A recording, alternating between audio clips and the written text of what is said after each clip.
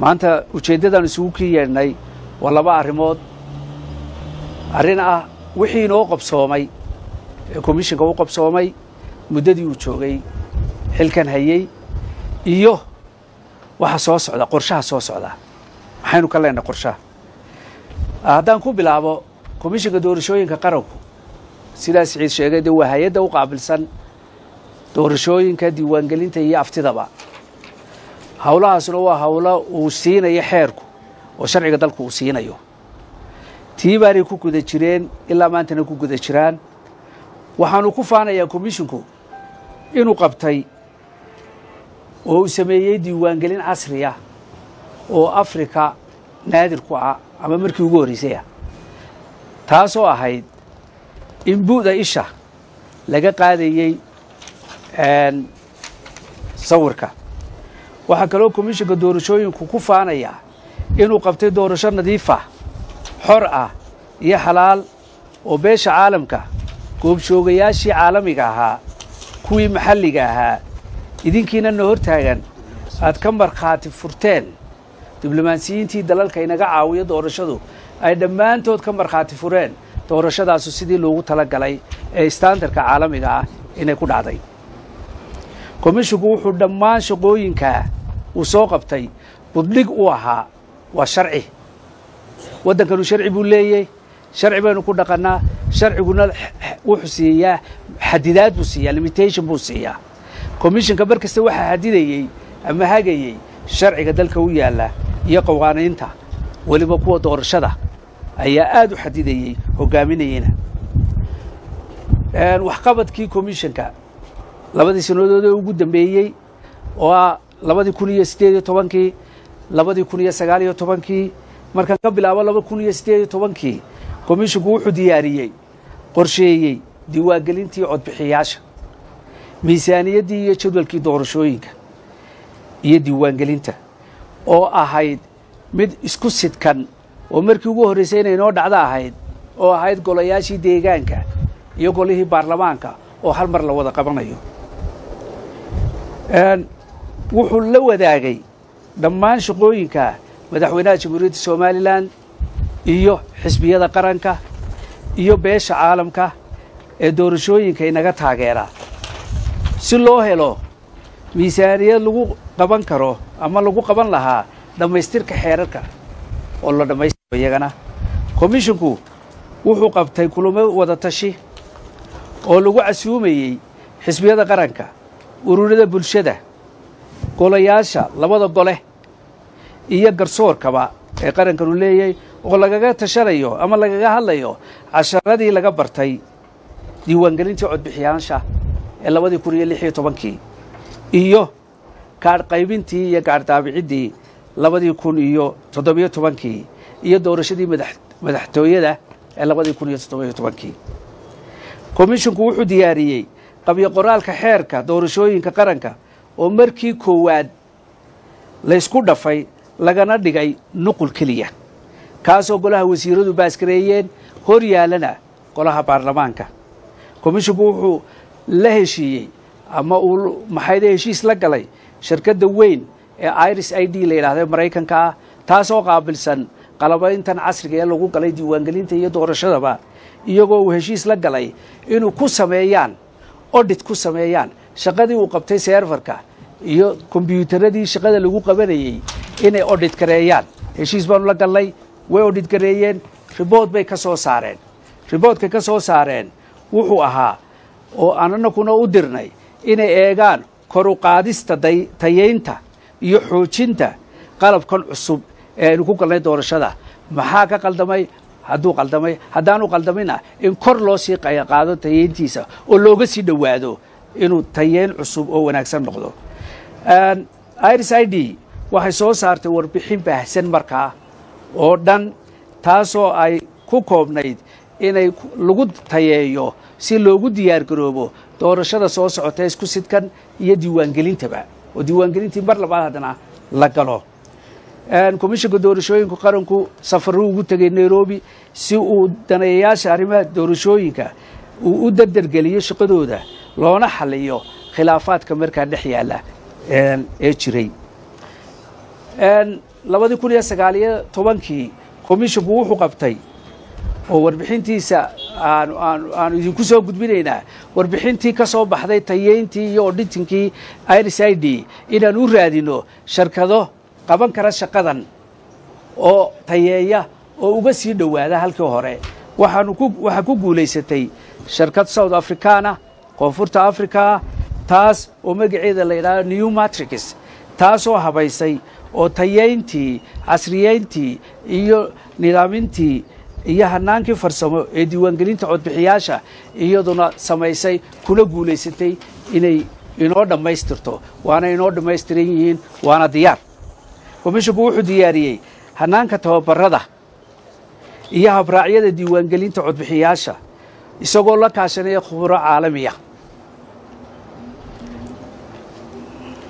waxaanu soo bandhigeen tayeynta lagu sameeyey hanaanka farsamo ee diiwaangelinta codbixiyaasha.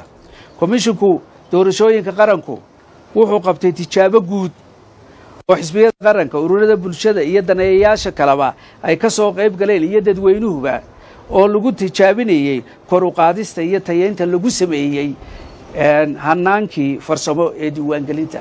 Oo markii aanu dhammaystirnay riboodkii helnay ee sharkaddii dhammaystirtay waa in la tijaabiyaa. Shaqadii sax ma tahay.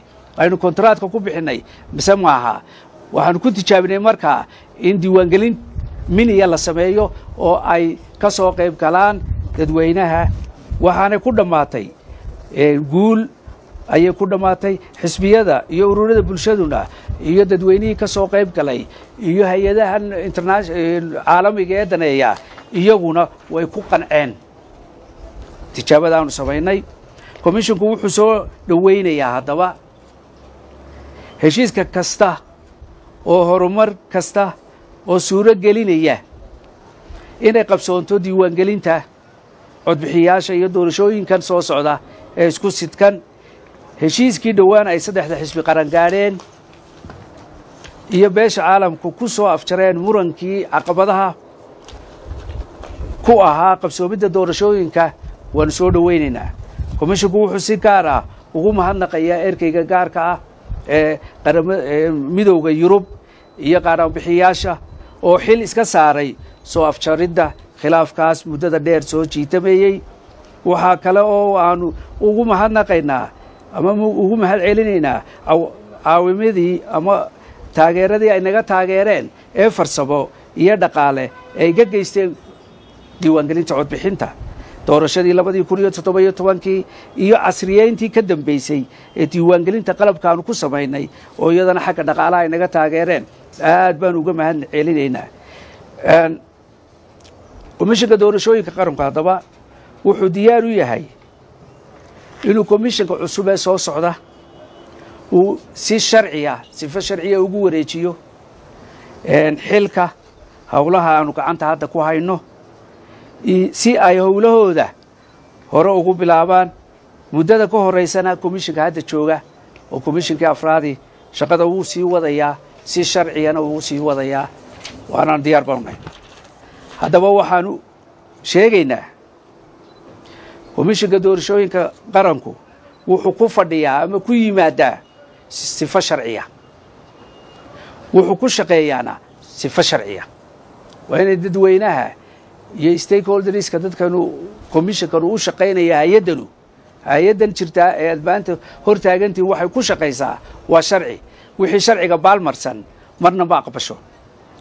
Eedihii komishinka doorashooyinka qaranka loo soo jeediyey dhammaantood iyo xeerarka doorashada laga dacwooday komishinku wuxuu muujinayey intaaba dulqaad iyo inuu qarankan u tudho oo shaqadan xasaasiga ee uu hayo uu ku ilaaliyo halkeeda oo sharciga ku ilaaliyo.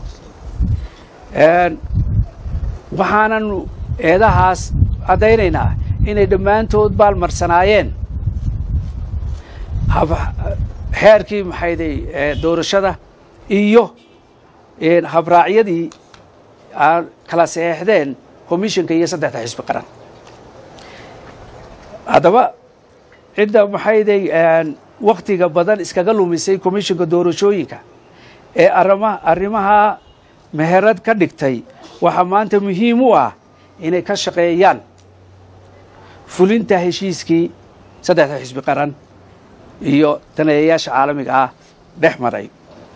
Waxaanu halkaa ku caddaynaynaa wax kastaoo baalmarsanaa sharciga oo aanu tusaale ahaan u soo qaadanayno inaanay mararka qaarkood gaf weyn ku ahaa komishanka doorashooyinka qaranka iyadoo aanu tusaale ahaan u soo qaadanayo in mararka qaarkood lagu tiraabayey waxaan sharciyan qaban komishanka oo ay ka mid ahaayeen oo kale inay doorashadii doorashadii keliya doorashadii keliya ee ay qabteen komishanka doorashooyinka qaranku ay ku tunteen sharcigii. Oo marna aan suurtagal ahayn inay xeerkii doorashada si badheedha u jeedheen oo waxyaabaha soo tiraabayana soo gaadhayay oo marna oo aanaanu ka jawaabin ee dulqaadkeeda u lahayn. Oo marna aan xeerka iyo habraacyada meelna kaga olin. Dhexdhexaadnimadii looga baahnaayoo ka baydheen. Oo taana aanu maxayde u arkaynay. Hadallo baalmarsan sharciga iyo habraacyadii aanu kala seexanay haddaba maanta oo taariikhdu tahay siddeeddii bishii ogost labadii kun iyo sagaaliyo toban maalin khamiisa komishanka doorashooyinka qaranku waxa uu doonayaa inuu shacabka reer somalilan xisbiyada qaranka daneeyayaasha arrimaha doorashada iyo dhammaan iyo dhammaan ummaddana dhegaysanaysaba in aanu la wadaagno qabsoomiddii wakhtiga doorashada. Sida aada la socotaan qodobka sagaalaad xeer number laba labaatan. Labadii kun iyo kow ayaa komishanka doorashooyinka qaranka ku waajibinaya in markay boqol iyo labaatan maalmood ka hadhsan tahay maalintii loo cayimay ama loo asteeyey doorashada inuu ka hadlo komishinku. Xeerkaasaa waajibaad kaga dhigaya. Haddaba markaanu aragnay in xeerka doorashada qaranka ee lagu geli lahaa doorashooyinka golaha deegaanka iyo golaha wakiilada. Aanay weli diyaar ahayn oo xeerkii hor yaallo golihii wakiilada. Laba dib u furistii diiwaangelinta codbixiyaasha oo aan weli qabsoomin muranadii taagnaa daraaddood. Saddex sida uu dhigayo qodobka sagaalaad ee xeer number labaatan labada kun iyo kow oo komishanka ku waajibinaya inuu cayimo wakhtigay qabsoomayso doorashadu boqol iyo labaatan maalmood ka hor. Maalinta doorashada loo asteeyey afar. Isla markaana uu arkay daruufaha farsamo sharci siyaasadeed ee ku gadaaman qabsoomidda iyo geedi socodka doorashooyinka golaha wakiilada iyo golayaasha deegaanka. Sidaa daraaddeed komishanka doorashooyinka qaranku wuxuu caddaynayaa in doorashadii golayaasha deegaanka iyo wakiiladu ee uu qorsheeyey in la qabto labiyo tobanka disembar ama u qorshaysnayd in la qabto labiyo tobanka disembar labada kun iyo sagaaliyo tobanka oo ah bil ka hor dhammaadka muddaxileedka golaha wakiilada ee markaa fadhiya aanay farsamo ahaan iyo sharci ahaanba. Aan ku celiya farsamo ahaan iyo sharci ahaanba qabsoomi karayn.